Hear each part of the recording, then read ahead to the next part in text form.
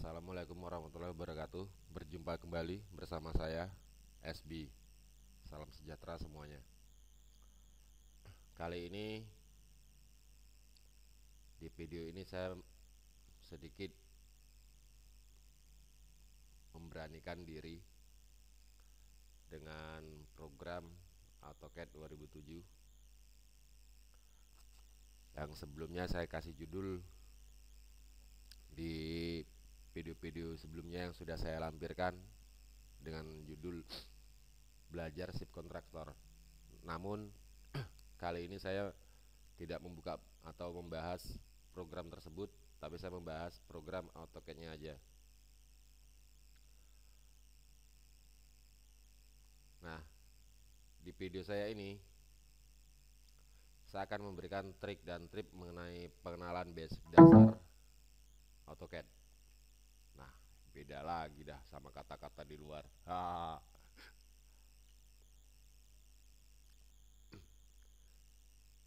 Di AutoCAD 2007 ini yang selama ini orang menganggap bahwa AutoCAD itu yang lebih tinggi, yang lebih bagus. Tapi di sini saya tidak semua AutoCAD sama. Yang penting kita pengenalan basic penggunaan tool itu sendiri di sini saya akan menjabarkan AutoCAD itu ada berapa rilis saja sih. Nah, yang kita pakai selama ini, yang orang taunya hanya AutoCAD dari 2000, 2001, 2002, 2004, 2005, 2006 dan seterusnya. Namun di sini saya akan membahas tentang rilis atau program AutoCAD itu yang sudah dibuat ada berapa rilis. Nah, yang saya miliki sebelumnya yaitu AutoCAD rilis 12 dari rilis 12 setelah itu rilis 14 setelah itu baru AutoCAD 2000 AutoCAD 2000 itu sama dengan AutoCAD rilis 15 2001 sama dengan AutoCAD 2001 itu rilis 15.1 AutoCAD 2002 itu rilis.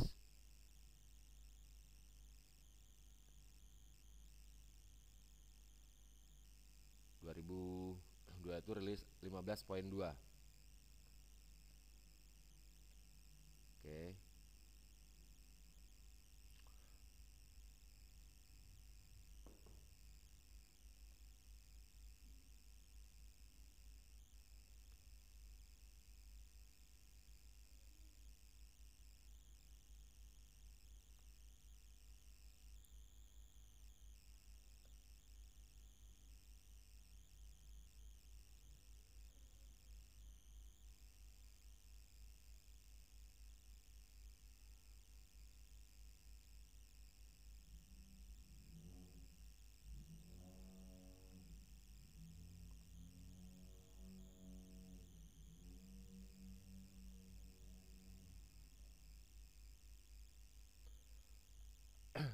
Kenapa saya membahas tentang rilis? Rilis itu kita tahu bahwa AutoCAD itu sudah diproduksi berapa berapa berapa banyak. Nah, setiap tahunnya AutoCAD itu mempunyai up to date dan itu tidak terlalu banyak yang signifikan, paling penambahnya sedikit. Tapi kita tahu basic dasarnya dulu. Konsepnya apa sih? Yang selama ini kebanyakan orang yang tahu hanya menggunakan tool yang ada di icon-icon AutoCAD tersebut. Nah, di sini saya akan membahas tentang trik dan triknya di AutoCAD ini karena ini adalah program dasar pengenalan dasar yang yang harus diketahui untuk program-program yang lainnya. Kenapa rilis ini saya tulis rilis 12, 13, 12, 14, 15, 15.1, 15.2, 15 poin 15.2 setelah itu rilis 16 16 dan seterusnya sampai ke atas. Nah itu berfungsi bahwa kita ngikutin perkembangan. Yang saya tujukan bahwa ini untuk mengikuti perkembangan. Akan tetapi di sini saya akan membongkar sedikit untuk sebelum kita melanjutkan ke perintah AutoCAD itu sendiri. Kita harus tahu nih yang kita harus kuasai apa sih? Sebenarnya yang dinamakan command line ataupun perintah itu bisa kita edit.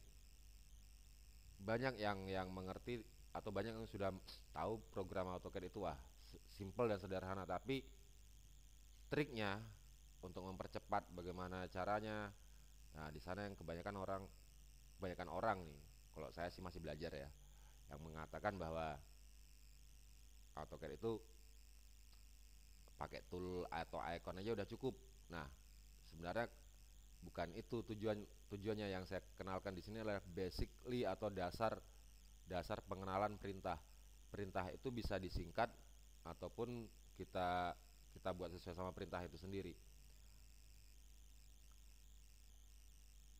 saya singkat waktu aja di sini saya memberikan contoh kenapa saya bilang menguasai perintahnya dulu? Karena pakai AutoCAD berapapun kalau kita menguasai perintah itu tidak akan tidak akan bingung untuk mengaplikasikan di AutoCAD ini. Nah, di sini akan saya tunjukkan klik tool.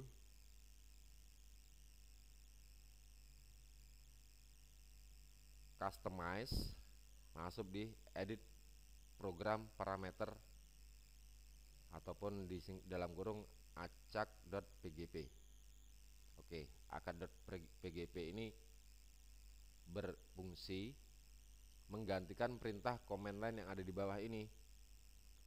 Nah contoh mau dibuat apa aja mau dibuat bahasa apa pun mulai dari bahasa yang ada di seluruh Nusantara nih bisa. Nah contohnya seperti ini. Ini ada saya ngambil contoh kecil.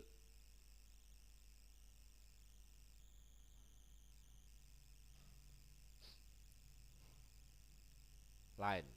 Line itu dengan singkatan L. L ataupun line yaitu garis. Di sini kita bisa ketik. Bisa ketik umpamanya kita buat apa nih bahasa Indonesia umpamanya? Contoh L itu saya ketik saya ganti nama garis.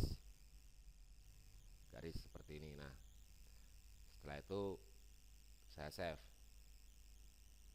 Saya save. Setelah itu saya ketik. Sini re init nah saya klik yang paling bawah itu pgp file. Oke. Nah apabila saya memberi command line di bawah ini dengan perintah saya ketik bahasa Indonesia tadi yang lainnya itu yaitu garis saya tulis garis.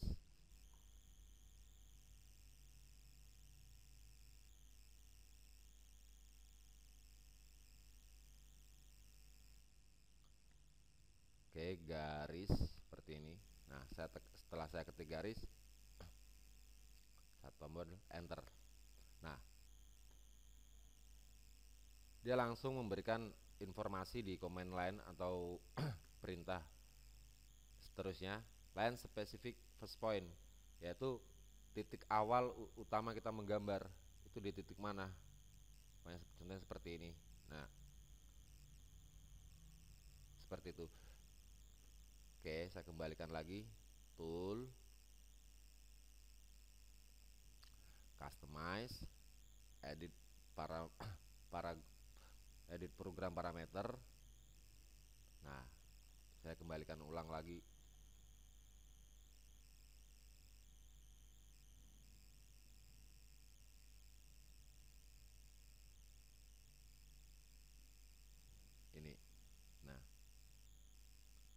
ketik seperti ini save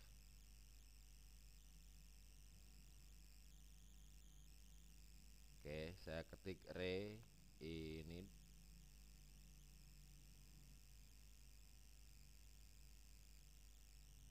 Re ini. Nah. Ini berfungsi apabila kita menggunakan AutoCAD itu untuk mempercepat lah hasilnya untuk mempercepat. Uh, itu untuk trik jadi sumpamanya kita biasanya kopi itu CO kita bisa C aja. Biasanya C itu uh, circle aja atau circle aja. Nah C itu kita bisa rubah. Umpamanya circle itu kita bisa rubah menjadi CR jadi memfungsikan tombol lah tombol keyword yang ada di keyword kita itu. Jadi untuk mempercepat mana yang kita terbiasa pakai keyword tanpa harus menggunakan icon itu lebih lebih lebih asik gitu loh. Dan kebanyakan itu untuk biasanya yang yang orang sudah expert atau ahli itu lebih suka dia dengan dengan komen lain. Karena apa? Menggambarnya lebih cepat kata. Alasannya sih seperti itu. Nah sebenarnya banyak uh, di dalam program AutoCAD itu yang harus yang yang sedikit saya tahu ya karena saya juga baru belajar. Nah yang saya pernah membuat contohnya seperti ini. Uh, ada beberapa perintah yang saya gabung dari bahasa Visual Basic. Ada juga sebenarnya bahasa AutoCAD itu bahasanya adalah dari Visual C ya Visual V dari Visual Lips. Nah ada beberapa lagi seperti objek AirX bahwa penulisan program AutoCAD dari rilis rilis sebelumnya sampai sekarang ini itu menulis dengan bahasa program AirX jadi ada ARX, ada C++, ada Visual Basic. Nah, di sana banyak para para pengembang-pengembang program banyak sekali tuh yang yang bergabung di Autodesk dengan forum yang saya pernah masuki juga. Sebenarnya AutoCAD itu banyak banyak sekali yang yang belum kita ketahui. Kalau saya sih mungkin baru ujung kuku deh. Apa yang ada di perintah di AutoCAD yang sebelum-sebelumnya itu sudah fasilitas yang yang komen lainnya udah betul-betul udah di, disiapin sebenarnya bagi para, bagi para pengembang saat ini ya ditambahin biar lebih mempermudah lah mana yang lebih lebih mempermudah setiap rilis-rilisnya. Nah, contohnya seperti ini. Saya sedikit menggabungkan perintah visual basic nah contohnya kayak gini nih ya seperti ini ya nah ini sebenarnya icon-icon ini saya buat atau saya kerjakan dari bahasa visual basic tapi yang berjalan di AutoCAD yaitu sebagai plugin lah kalau bahasa tren sekarang. Nah seperti ini. Nah kalau saya memungsikan contoh saya buat garis seperti ini.